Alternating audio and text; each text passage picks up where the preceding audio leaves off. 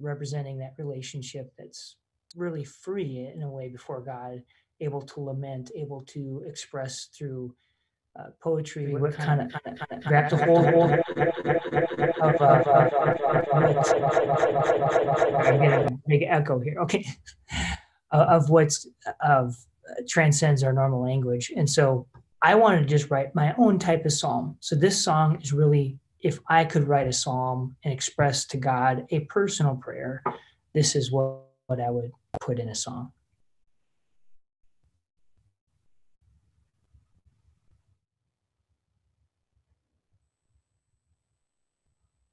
Speak your word into my ear. There once started a world,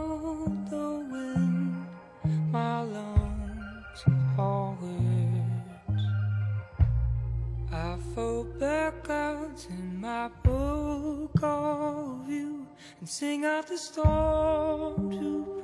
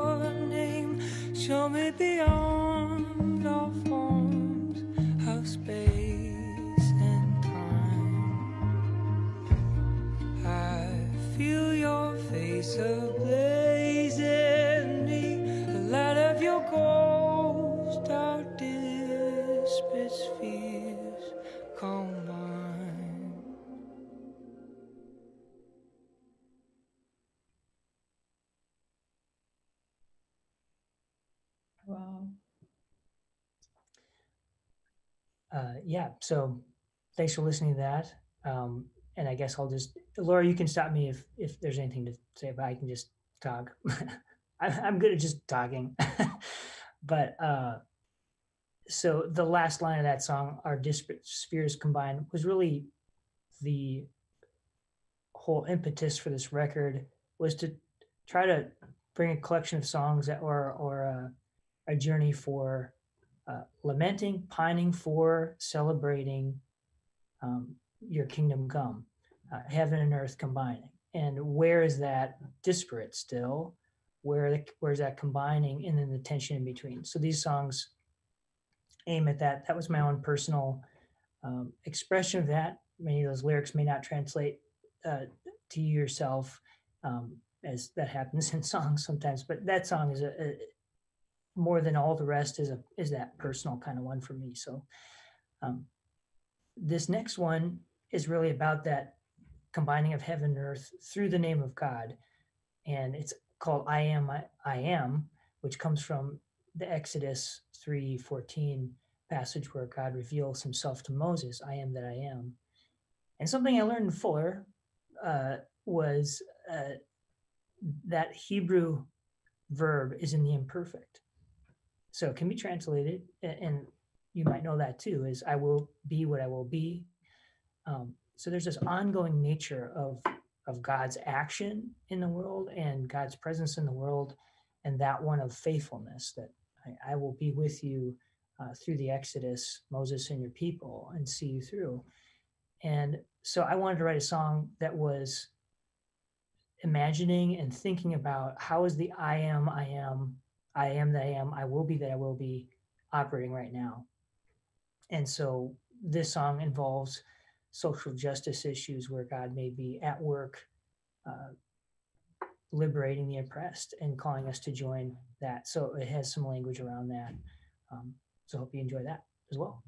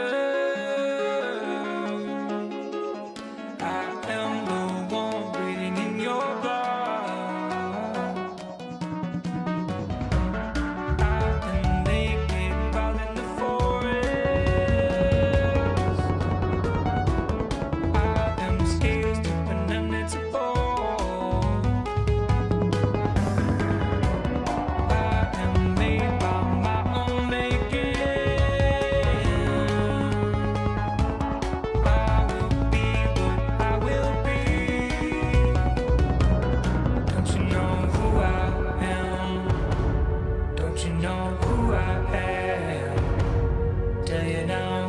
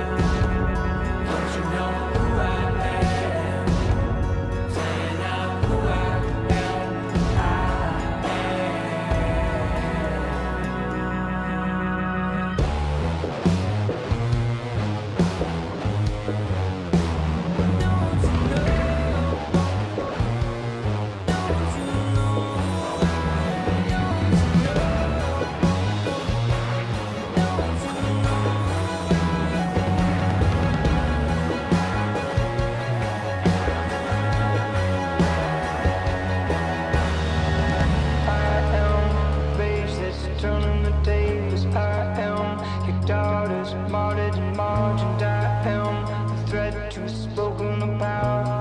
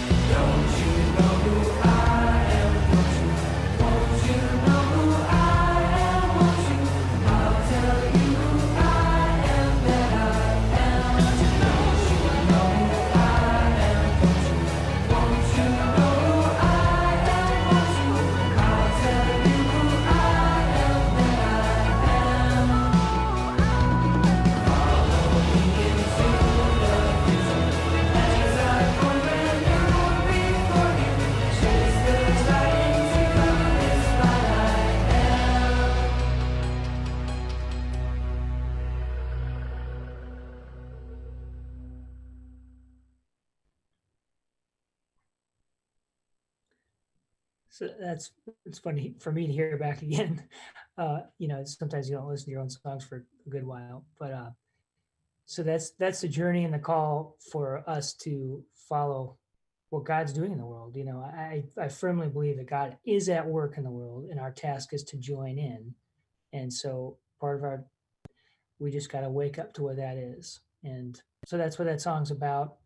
Um, fun to note about the music as well is the saxophone player that's in there. He used to play for Prince, and Prince uh, actually is just down the road. Um, uh, so anyway, that that was kind of fun connection. But I should just mention some of these band members because really, you're talking to me, but there's so many people that's involved in this, and I should mention people you won't know, but Matt Patrick is a big part of this. Uh, the producer, engineer Zach Miller, drummer Aaron Fabbrini, uh, Jeremy Ylvisaker, and uh, many others. But those men that I mentioned right there are all people who helped craft this next song you'll hear, which is entitled Eric Garner et al.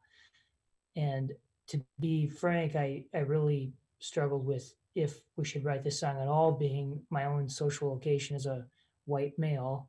Um, I, I, didn't want to encroach on something that's not my voice to speak. And so I just wanted to say that sensitivity or put that sensitivity out there. But certainly want to join in my own uh, journey of repentance of uh, the systems of racism that I'm complicit in, and um, the majority white culture has been, and um, I'm part of that. And so, what's my road rep- to repentance is to be involved in uh, speaking out what the truth is and uh, embracing my own cross in this way. So, this song is one one way in which I am attempting to follow in that way. Um, and the individuals I mentioned, when we were doing this record, we all had these morning stretches, which we called uh, just trying to get the vibe in the studio, right? Um, so um, it's a studio in town that we love to hang out at, but we just said, hey, you guys just play whatever you want. And so those those three guys just Jeremy th- started to play this instrumental piece on guitar, and then the others joined in, and that just became a thing. And then later on, Matt and I said, "Hey, we could make this a little song vignette, so it's a little shorter song." And I just sang um, or put lyrics to the melody that was kind of already there in the guitar part. So it's very much a collaborative effort. And I would uh, just try to wrestle with um, the story of Eric Garner and so many others. That's why it's named Et al. So Eric Garner's and all the rest. And what he said, uh, I can't breathe, uh, resonates even through, of course, what we just experienced with the George Floyd um, story this whole year, which just, and I'm in Minneapolis, Minnesota. So the events of last night were fundamental, a beginning of justice, not an end to it and really a reckoning, a uh, accountability, as it's being called, not really true justice, because true justice is going to involve a repair of the whole system. Uh, all that to say, the, the language of I can't breathe is very much embedded in this movement that I think God is a part of, and we as Christians need to be a part of it from a biblical justice standpoint. So this song just tries to journey through that, and it uses images of the Exodus as well um, to kind of uh, resonate with the story of Black people in America and in that struggle toward freedom. So, this is Eric Garner.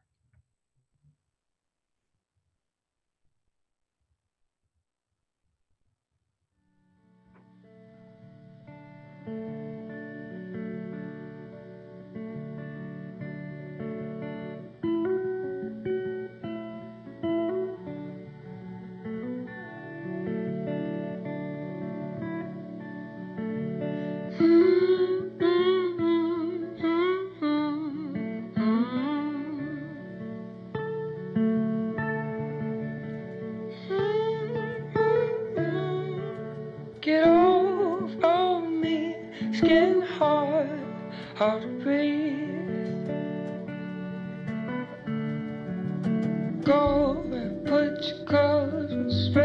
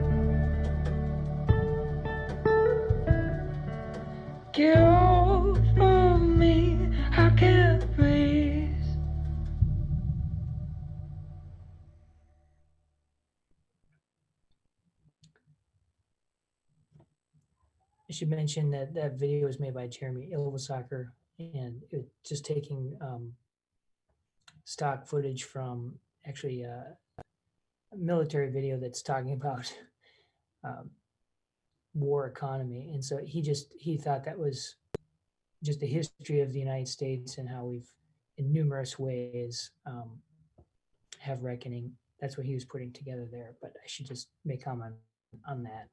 Um, but all that to say, uh, I want to share that song in particular, just the uh,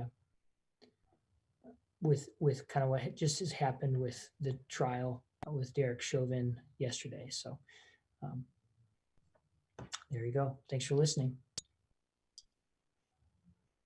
Thank you so much, Ben. It was just a pleasure to get to hear your music and even more to hear your heart behind the music and kind of the own journey that you've been on and and things that God's teaching you too. And so thanks so much for sharing that with us.